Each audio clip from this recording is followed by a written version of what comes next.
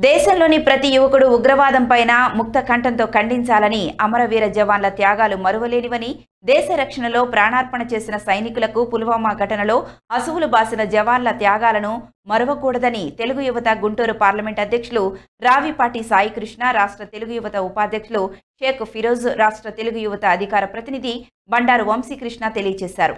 Guntur parliament అధ్యక్షులు రావిపాటి సాయికృష్ణ మాట్లాడుతూ దేశ ప్రజలంతా సుఖశాంతులతో నిద్రపోతున్నారు అంటే దేశ సరిహద్దుల్లో సైనికుల ప్రాణత్యాగాలు వల్లనేనని ఉగ్రవాదంపైన పోరులో నేటి యువత నడుం బిగించాలని పిలుపునిచ్చారు.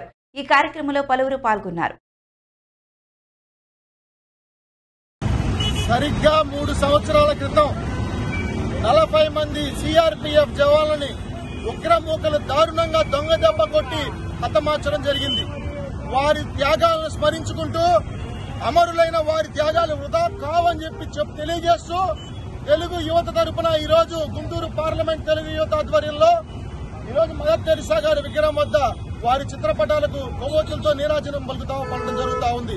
అందులో భాగంగా మాజీ సైనిక ఉద్యోగులైన పరమేశ్వరరావు గారు అలాగే రవి గారు కొల్లి అనిల్ గారు నందా గారు వారి బృందం అందరూ వచ్చి సంఘీభావం తెలియజేసి ఈరోజు నివాళులు అర్పించడం జరుగుతూ ఉంది.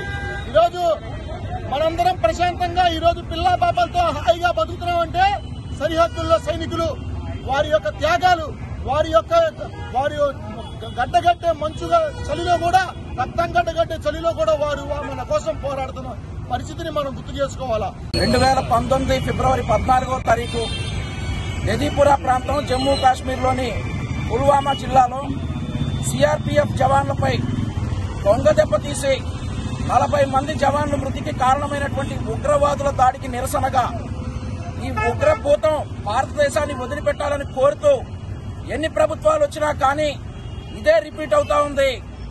జవాన్లు వీరమరణం పొందుతా ఉన్నారు. అలా వీరమరణం పొందకుండా మన దేశ పౌరులు ప్రభుత్వాలతో కూడుకొని ఈ ఉగ్రవాదుని దేశం నుండి తరిమి కొట్టే వరకు కూడా పోరాడాలని ఉగ్రదాడిలో అమరులైనటువంటి వీర జవాన్లకు మదర్ తెరిసా విగ్రహం వద్ద స్మృతి పలుకుతూ ఈరోజు తెలుగు యువత ఆధ్వర్యంలో మాజీ సైనికుల బృందంతో మేము నివాళులర్పించడం జరిగింది. జై జవాన్! జై జవాన్!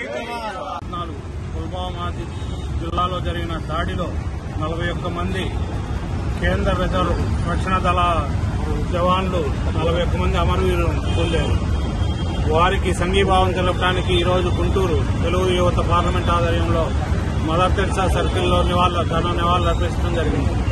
వీరికి మద్దతుగా మామూలుగా సరిహద్దు దళాల్లో ఆ జవాన్లందరూ కూడా ప్రశాంతంగా మనం అంతా నిద్రపోతుంటే వారు చేస్తున్న త్యాగం వాళ్ళ కుటుంబాలను వదిలిపెట్టి మామూలుగా సరిహద్దుల్లో చలిగా గట్- చలిలో కూడా ఎండల్లో కూడా వాళ్ళంతా సరిహద్దుల్లో కాపలా కాయడంతోనే మనం ప్రశాంతంగా ఇక్కడ నిద్రపోగలుగుతాం కాబట్టి వాళ్ళందరూ కూడా ఏ ప్రభుత్వం వచ్చినా కూడా